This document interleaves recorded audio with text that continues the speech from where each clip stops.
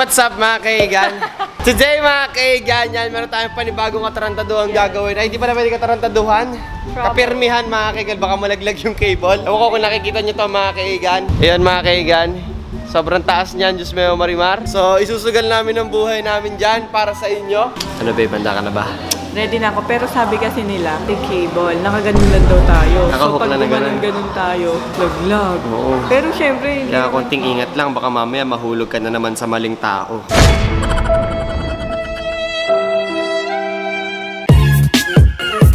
Kapit-kapit din, huwag masyadong marupok Huwag ha. masyadong makire. Tsaka iba ang pagiging marupok sa pagiging pokpok na talaga. Kapag ka ganito ang activity talaga, babe, parang biglang ang sarap mag-isip ng ano, no, mga final destination na palabas. Kaya ayoko sumasakay sa ganito eh. Minsan kalaban mo talaga sa kasiyahan mga kaigan yung mga movie na papanood doon nakakatakot. Kagaya nung ano, kwento natin Dave sa kanila yung dapat magbabali Indonesia tayo. Nagpabook kami ng Bali Indonesia mga kaigan. Sa may Oo. magandang beach. Oo, tapos nakapanood ako ng isang meg ano tayo yung pating na kinakain ng mga surfers. Doon ba yan? Oo. Ayun. Tapos, So sabi hindi ko, tumuloy. sabi ko cancel na. Kinusap yung travel agency. Bigla sabi niya wala na refund. Kano yung 50,000? So sobrang takot ko mga kaigan. Wala na akong pakialam kaya hindi nila isolve yung pera. Oo. Isip ko basta wag lang ako makain ng pati. Putang taas na natin mga kaigan. Ate Loy, parang ayoko na. Ang taas na oh. Ooh, Wala kaya pa pa? yan? Kaya pa? May tataas pa yan mga kaigan oh. Iaalog ko mamaya yung ayoko! Iaalog ko mamaya yung table. Wag! Oo. Kahit sumigaw ka ng mama, hindi ka maririnig ng nanay mo. Ayun na mga kaigan. Diyos mo yung marimar. Ay babe, dito ka nga. Tayo ka nga dito. Ayoko na. Oh, Ayoko na. picture. Handa ka na. Ah. Ay, matibay ba yan? Hindi ako matatakot dito, babe. Sa Pilipinas nga, subukan ko na yung zipline eh. Bagay. Yung alambre lang yung lubid lang, nakaano sa likod mo yan eh. Matigas-tigas pa yan. Sabi kasi marimar. lang nakasabit lang to eh. Papaniwala ka dyan. Ayan. Oh my God. Ano, kaya pa?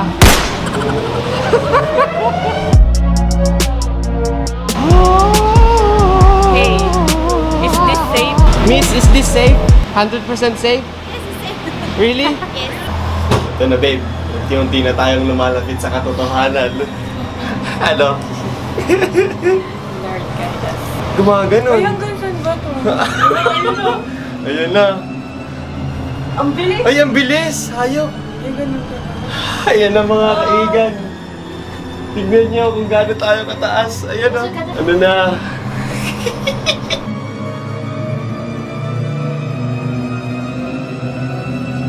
Para ang sarap mag-bounce ah. Wag ka! Bounce ba? Pare ko, huwag ka mangurot. Ayoko mag-picture. Wag ka kasi magulo, babe. Bakit? Hindi ka kinakabahan. Ano babe? Hawak to ko ba? Alam mo babe, kapag nahulog tayo dito, kahit anong higpit yung kabit mo, babalibag tayo na naman. Saka wag ka na mag-vlog. Bakit ba? Alam mo, pag vlogger-vlogger tayo, timang ka ba? Ganyan yung mukha ni Camille kapag ka hindi na mabiro, tapos pagka pinatay ko yung camera, tsaka ako sasabihin niya, Putang ina mo ah. Isang ikot lang ba to, Tila? So, ito na yung Sentosa. Ito. Ayan yung water park nila. Babe, Ano, tinan mo may... May fish Oops. room. Oo, wag kang maligot. Ang ina naman ni Jason, parang tanga.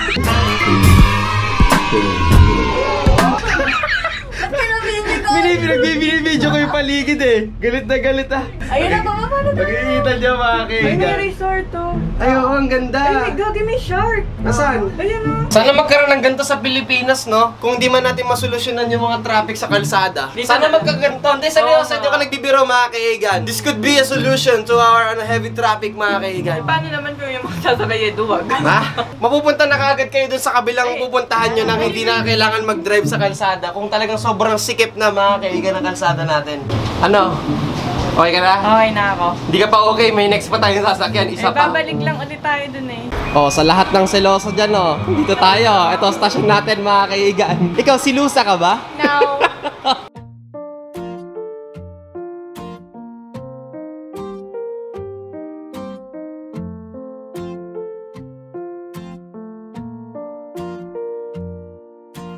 So yun guys, um, pasensya na kung medyo magdadrama ako ngayon. Mag-isa lang kasi ako ngayon dito nag-edit ako sa hotel and si Maring Camille wala dito kasama niya yung manager namin. So gusto ko lang i-flex si Maring Camille sa pagiging mabuting girlfriend. Excited ako na sa future, siya na yung mapangasawa ko. Sa kanya ko maririnig yung matamis na oo kapag ka nag-propose ako sa kanya. And siya yung tatawagin mama ng magiging anak namin, ng mga cute na mga anak namin. Kung itong globo na to ang itsura ng ating mundo. Pues Ano ba ito naman itsura ng aking mundo. Napakaganda. Ay, naku baby girl, kapag pa. napanood mo to, alam ko nakangiti ka na naman ngayon. I love you. Mahal na mahal kita. Sa'yo lang ako. At sa akin ka lang.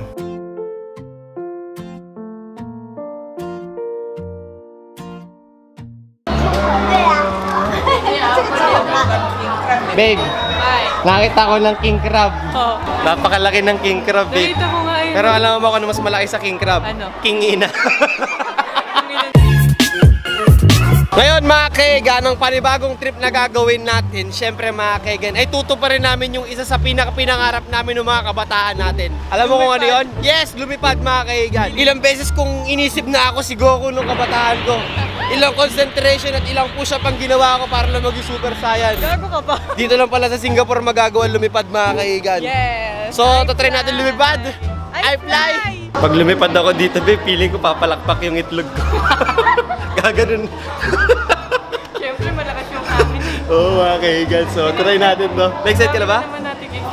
Oo nga, mga kaigan. Yun yung kinapaprod ko sa amin sa relasyon namin ni Maring Camille. Gutom kami sa mga experience na dapat namin ma-experience. Sana kayo din, mga kaigan. Kasi may lang ang buhay. Huwag natin ubusin yung oras dati na nakahiga lang sa kwarto, naka-cellphone lang. Napakadaming pwedeng gawin, mga kaigan. Diyos may marimar na yan. Yes. Alam mo, banda ka na ba?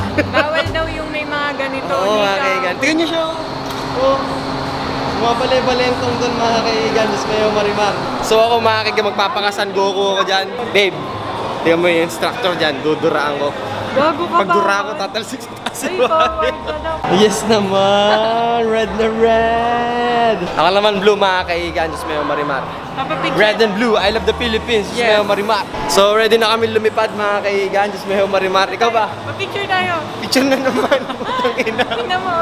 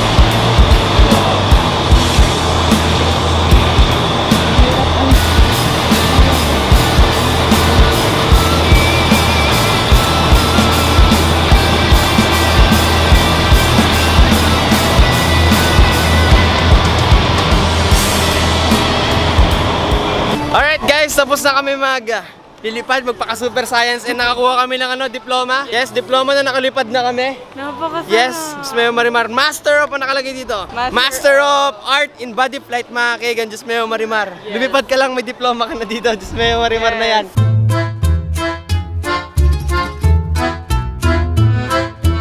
So yun mga kaigan, marimar. Sabi ko sa inyo, wala si Maring Camille dito. And pauwi na siya, on the way na siya. Kakatapos ko lang din mag-edit mga kaigan. And gusto ko lang tuktukan tong vlog na to. Na proud na proud talaga ako sa girlfriend ko kasi Ewan ko ba kung ba't ang drama-drama ko. Ayoko na nga mag-isa sa susunod. Diyos yung marimar na yan. Proud lang ako mga kaigan kasi nakahanap ako ng kagaya ko na sobrang magmahal. At the same time, sobrang gago. Sobrang extreme sa kagustuhan sa mga experiences sa buhay mga kaigan. She's very different mga kaigan pagdating sa gantong bagay. And na-enjoy ko siya kasama kasi kapag ka pagod ako, pagod din siya. Alam mo mga kaigan, pagka tinatamad na ako maglakad, ganun din yung nararamdaman niya. Tinatamad din siya maglakad. Pag excited akong gawin tong bagay na to, excited din siya gawin yung bagay na yun. Talagang pares kami ng gusto mga kaigan. At the same time, may pagka-differences din kami. Eh din yung gusto ko sabihin sa inyo mga kaigan. Kasi ba iniisip nyo, when it comes to finding your true love, kailangan parehas kayo lahat. Parehas kayo ng gusto. Nag-aaway din kami ni Maring Camille mga kaigan. And meron din kaming hidwaan ba mga kaigan pagdating sa gusto. Marami siyang gusto na hindi ko rin gusto. Marami akong gusto na hindi rin niya gusto. Marami siyang ugali na positive. Marami akong ugali na positive. Marami din akong ugali na negative. Marami din siyang ugali na negative na ayaw ko. Ang maganda rin mga kaigan, yung mga positive things na nagagawa niya na hindi ko nagagawa, natututunan ko sa kanya. And yung mga positive things na kaya kong gawin na hindi niya nagagawa, natututunan niya rin sa akin. And yung mga negative things na hindi ko nakikita, na nakikita niya, nakokorek ko agad mga kaigan. And yung mga negative things na nagagawa niya, na hindi niya nakikita, na ako yung sumasaway sa kanya, nakokorek niya kagad mga kaigan. And that makes us perfect mga kaigan. Kasi we are imperfect couple na nagtutulungan na maging maayos yung buhay at relasyon namin. Yun lang mga kaigan, hindi madali magmahal, pero masarap magmahal. Yun lang yung masasabi ko sa inyo.